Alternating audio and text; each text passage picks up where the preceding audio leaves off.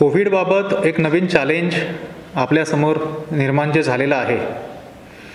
ते म्हणजे युनायटेड किंगडममध्ये कोविडचा एक नवीन स्ट्रेन जो सापडला आहे त्याचा जगभरामध्ये प्रसार होण्याचा धोका निर्माण झाला. या नवीन स्ट्रेनबद्दल सर्वात धोकादायक गोष्ट म्हणजे फार जास्त माहिती त्याची आपल्याबद्दल नाही. जेव्हा कोविड निर्माण झाला त्यावेळी जा व्हायरस नवीन असल्यामुळं आपल्याला अनेक गोष्टी माहीत नव्हत्या ट्रीटमेंट प्रोटोकॉल माहीत नव्हता. आणि त्यामुळं आपल्यासमोर सगळ्या अडचणी उभ्या राहिल्या होत्या. तसाच काहीसा प्रकार पुन्हा होऊ नये यामुळं काही दक्षता घेणं गरजेचं आहे.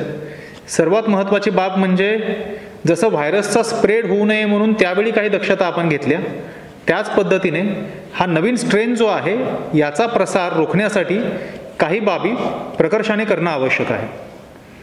त्यासाठी केंद्र आणि राज्य सरकारने प्रोटोकॉल निर्गमित केलेला आहे.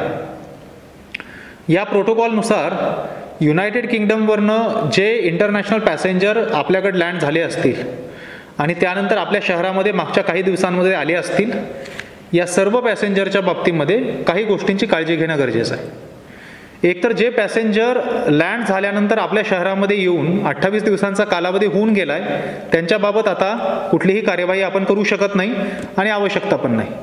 मात्र ज्यांना अजून अठ्ठावीस दिवस पूर्ण झालेले नाहीत त्यांच्या बाबतीत काही गोष्टींची प्रिकॉशन घेणं गरजेचं आहे.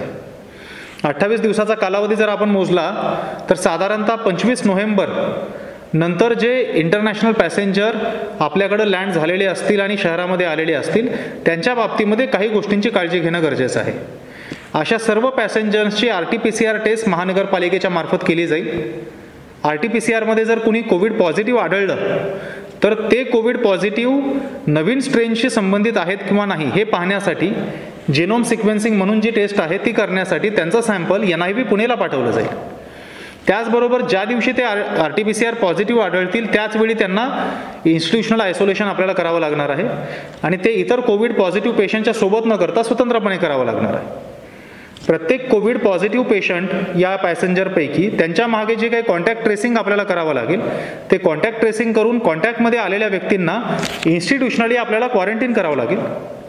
आणि क्वारंटीन केल्यानंतर पाचव्या ते दहाव्या दिवसापर्यंत त्यांचीही टेस्ट करावी लागेल. आणि टेस्ट पॉझिटिव्ह असेल तर परत पॉझिटिव्ह व्यक्तीचा प्रोटोकॉल निगेटिव्ह असेल तर क्वारंटीन पिरियड पूर्ण करणं.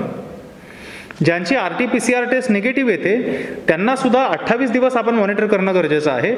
पाहण्यासाठी की ते कुठं काही सिमटम डेव्हलप करतात किंवा नाही. पंचवीस नोव्हेंबर नंतर शहरामध्ये जे नागरिक युनायटेड किंगडमवरनं आले त्या सर्वांची यादी महानगरपालिकेकडे प्राप्त आहे. आणि महानगरपालिकेने त्यांचे ॲड्रेस आणि मोबाईल नंबर यांच्या माध्यमातून त्यांना कॉन्टॅक्ट करणं आणि त्यांना R T P C R टेस्टसाठी घेऊन येणं आणि पुढची प्रक्रिया करणं ही कार्यवाही सुरू केली. आहे मात्र त्याचवेळी या नागरिकांची ही स्वतःहून जबाबदारी आहे की व्हायरसचा पुढचा स्प्रेड रोखण्यासाठी त्यांनी महानगरपालिकेने त्यांना अप्रोच करण्याची वाट न बघता जर आपण युनायटेड किंगडमवरनं पंचवीस नोव्हेंबरच्या नंतर लँड झाला असाल आणि आज रोजी शहरामध्ये असाल तर आपण स्वतःहून मोबाईल नंबर किंवा कशाही कुठल्याही माध्यमातनं महानगरपालिकेला अप्रोच करणं गरजेचं आहे. महानगरपालिकेला कसं अप्रोच करायचा हा प्रश्न असेल तर आपल्या स्क्रीनवरती जो नंबर दिसतो या टोल फ्री नंबरवरती आपण कॉन्टॅक्ट करावा.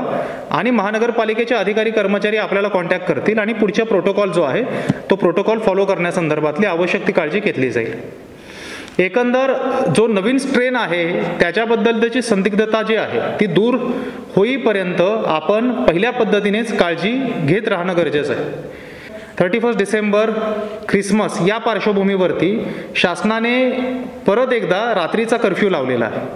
ह्या रात्रीच्या कर्फ्यूच्या पार्श्वभूमीवर सर्वांनी त्या कर्फ्यूचं पालन करणं आणि कोविड ॲप्रोप्रिएट बिहेवियर जे आपण म्हणतो जी त्रिसूत्री वारंवार सांगितली जाते त्या त्रिसूत्रीचा अवलंब करत राहणं या माध्यमातून कोविडचा आपण आत्तापर्यंत प्रतिरोध केलेला आहे.